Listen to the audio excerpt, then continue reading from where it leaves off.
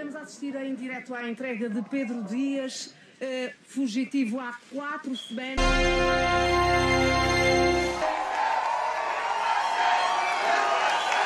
Miguel, Sim. olha, o Pedro Dias apareceu. Ah, nem quer saber. Miguel, Não vês que eu estou a gravar um vídeo? o Donald Trump é o novo presidente dos Estados Unidos. O quê? O quê? Não ouvi bem. Sim, sim, ouviste bem, o Donald Trump é o novo presidente dos Estados Unidos. Donald Trump é o novo presidente dos Estados Unidos. Donald Trump é o novo presidente dos Estados Unidos. Donald Trump é o novo presidente dos Estados Unidos.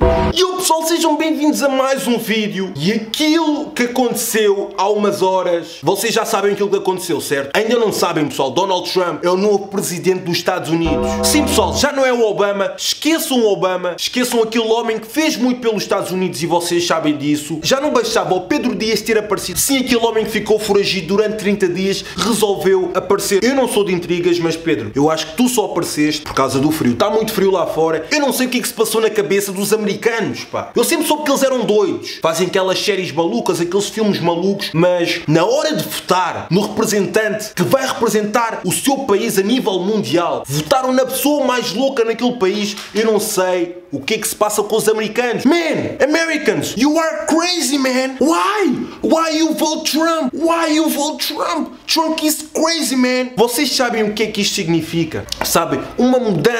Eu não sou a melhor pessoa em história, mas eu pesquisei. Antes de fazer este vídeo, eu, Miguel Paraíso, eu fui ver aquilo que o Donald Trump defendia. E eu não estou nada de acordo com os princípios deste homem. Porque este homem quer expulsar os imigrantes ilegais dos Estados Unidos, quer expulsar os mexicanos. Melhor ainda, ele quer construir um muro. Um muro, sim, vocês ouviram aquilo que fizeram, muro de Berlim, mas ele quer fazer um muro entre os Estados Unidos e o México para não deixar os mexicanos entrar nos Estados Unidos. E sabem que mais? Ele quer obrigar os mexicanos a pagarem esse muro.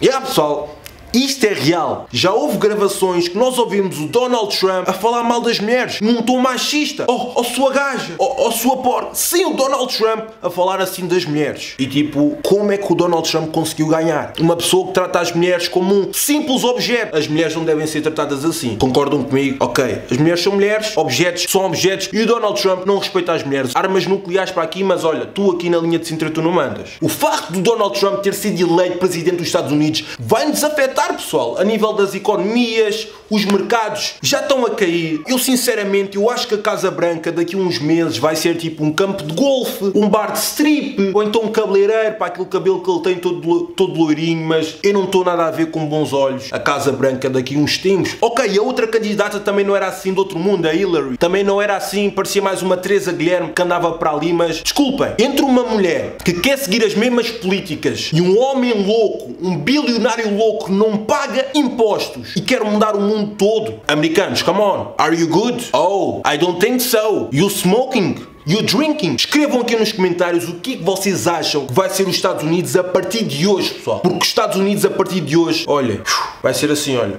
Assim. Eu tenho a certeza, pessoal. Isto deixa-me deixa assim triste, estão a ver? Não, não é um sonho, é mesmo real. O Donald Trump ganhou as eleições para os Estados Unidos, pessoal. Espero que vocês tenham gostado do vídeo. Metam um like e, e pá, pessoal. E pá, não sei, não sei.